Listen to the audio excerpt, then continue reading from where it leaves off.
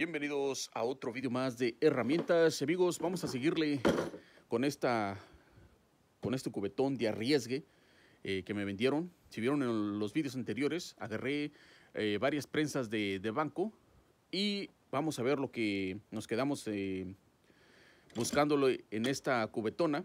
Vimos en un poco de, del vídeo anterior lo que empecé a sacar.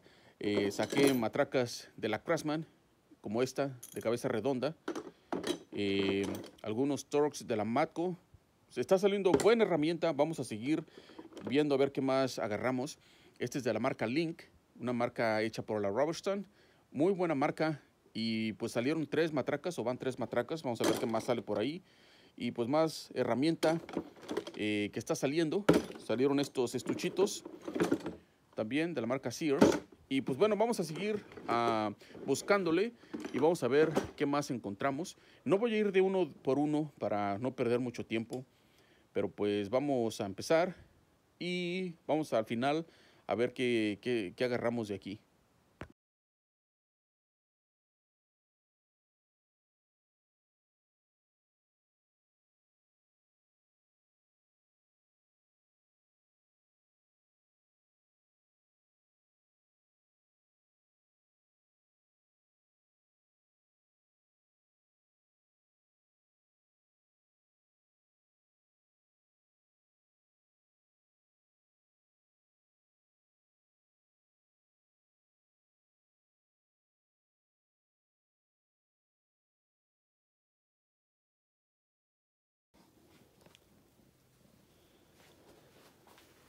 Aquí tenemos todo lo que salió de la cubeta. Ya me quedé con otras cubetillas por ahí con bastantes llaves Allen, tornillos, tuercas que todavía son útiles.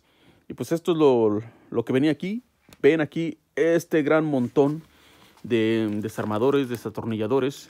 La mitad son chinos, taiwaneses y la otra mitad son hechos aquí, estadounidenses que serán unos 50 tal vez. Acá tenemos otros que serán unos 12, 10, 12, algo así. Todos hechos en Estados Unidos de la marca Crashman.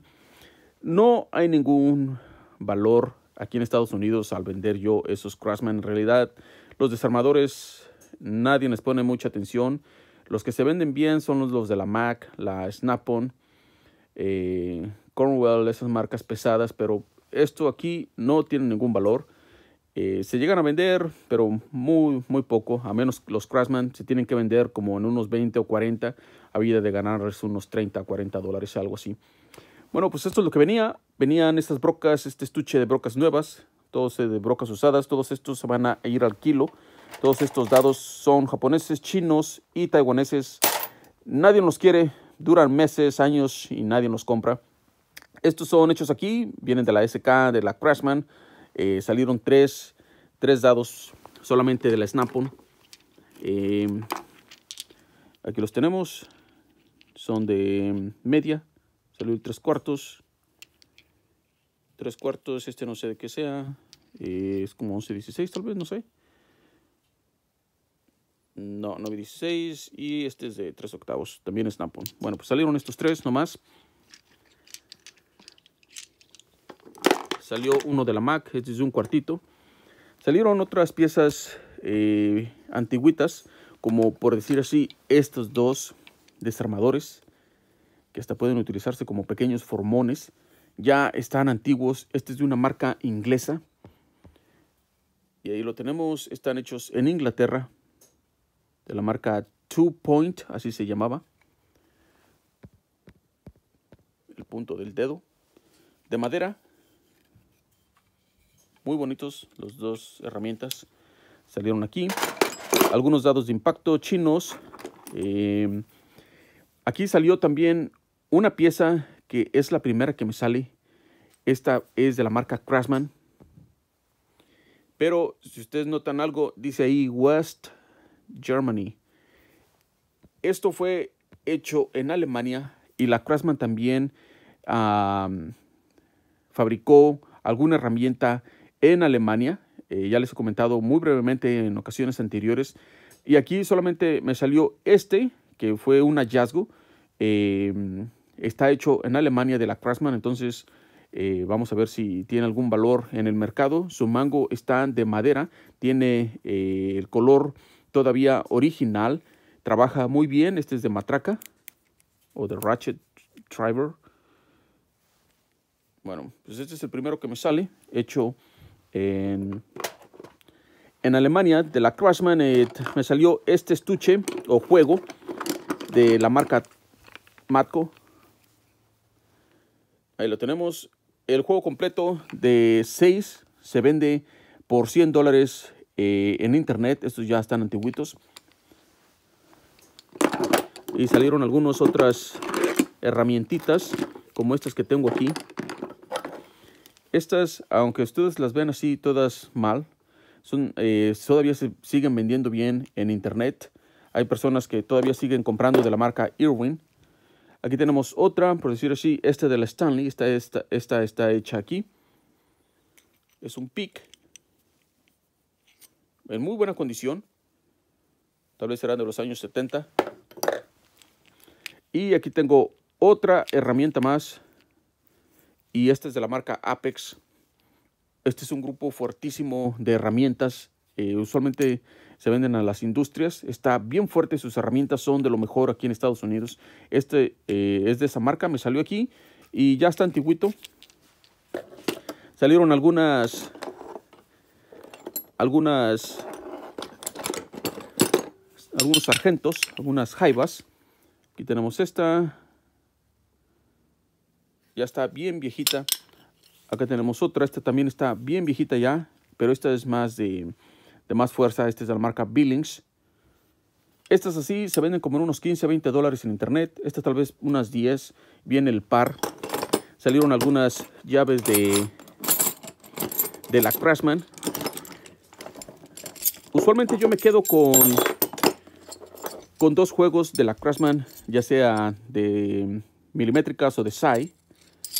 Y aquí, bueno, pues ya se me cayó, no me voy a bajar por ella. Me salió la 7 y la 8.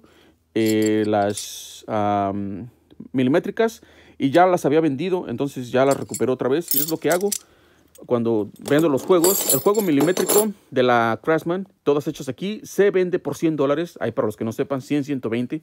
Hay gente que todavía las paga. Y bueno, pues eso es lo que les estoy hablando aquí, eh, de lo que ha salido. Me salieron todas estas llaves, son chinas y taiwanesas. Los estuchitos de las Sears, estos se venden 20 dólares cada uno. Salió este estuche, este es de una máquina, este es de una, iba a decir máquina, este es de una compañía del montón, vamos a decirlo así. Es de la Mastercraft, son las líneas que sacan algunas compañías y pues esos son sus estuchitos. Salieron estas llaves antiguitas, estas están usadas, usualmente esas no, no tienen valor, pero esta sí tiene valor. Junto con estas son de la marca Williams. Todavía se siguen vendiendo unos 15, 20 dólares. Están bien rosizadas, pero todavía están bien buenas. vamos a ver si le, hacemos la, le vemos la marca. Marca Williams. De los dueños de, estas, pues ya les he comentado, son de la Snap-on. Todavía se siguen fabricando. Ya no estas, estas, estas llaves así. Salieron algunas otras herramientitas. A las matracas salieron estas estas son chinas, nadie las compra. Salió una enana también, china. Aquí me salieron dos de media de la marca Craftsman. Estas ya les hablé. Esta se vende 75 dólares. Esta está hecha aquí de los años 70. Esta es la matraca de...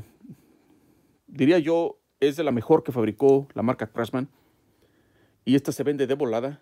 De estas eh, he vendido hasta tres, lo que es media, tres, ah, tres, octavos y sería la de un cuartito, hasta por 130 dólares el juego. Así es que si ven esta matraca, cómprenla, háganse su juego y les aseguro que la van a vender más de 100 dólares.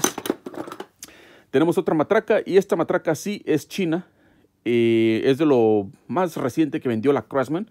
También venía aquí. podemos ver el estampado. Está muy bonita la matraca. Ya he probado de este tipo de matracas, salen bien aguantadoras. Le meten pues bastantito dinero y trabaja a la perfección. Bueno, está muy bonita, tiene su acabado industrial con cromado. Esta se vendrá nueva como en unos cincuenta y tantos dólares. Pero pues ya salió usada aquí. Esa la podemos encontrar tal vez hasta en unos 20 dólares en internet usada. Salió una matraquita enanita de un cuartito. Y me salieron una, dos, tres, cuatro matracas. Este es de la marca Husky, cabeza redonda, hecha en China o Taiwán, algo así. Esta matraca salió aquí, salieron cuatro. Eh, esta matraca es de la línea Link. Y les voy a hablar una, tal vez haga un vídeo especialmente para esa, pero se las voy a parafrasear rápidamente. Está hecha por la compañía o la línea de eh, herramientas Roberts Tools. Y ese dueño eh, fue el inventor de esto. Le llaman en inglés el Quick Release Button o el botón de para sacar los dados rápidamente. Y eso fue lo que inventó él ah, en los años 60. Tuvo una demanda con Craftsman. Esta persona los demandó, le dieron 10 mil varos. Era joven, después los volvió a demandar y se llenó los bolsillos de billete, empezó su propia compañía y él sacó en los años de 1980 esta, esta matraca, que la llamó así, la llamó la línea Link. Y pues aquí la tenemos, salieron cuatro, se venden entre 30, 45 dólares, depende de la condición. Estas están en una excelente condición, son de los años 80, que diremos que unos 40 años ya que tengan. Y bueno, pues aquí la tenemos. Después voy a hacer un video dedicado a esta persona porque fue él el inventor de esto. Y son las primeras que me salen. Las he visto en fotografía solamente. Nunca pensé en agarrármelas porque estas ya son una... Es algo que no se encuentra. Fueron algo que sacaron en una temporada y pues ya no se vuelven a ver. Pero pues estas son eh, herramientas de esa persona a la que le debemos este invento. Bueno, pues esto fue lo que agarré. Eh, siento que estuvo muy bien. Por solamente 40 dólares, a 40 dólares me arriesgué y pues salió muy bien el botín. Y pues bueno, pues así quedó el vídeo. Ya parece que traigo mi mesita para la, listo para la, para la pulga o la garra. Bueno amigos, pues así quedó el vídeo. Espero que les haya gustado la aventura de estas herramientas y nos vemos en la que sigue a ver qué les muestro por ahí. Si les gustó, échame una manita, denle manita arriba, suscríbanse y nos vemos en la que sigue.